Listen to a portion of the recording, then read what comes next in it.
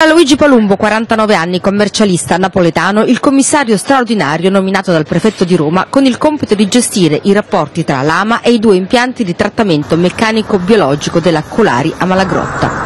La situazione rifiuti è lievemente migliorata, ma la criticità permane.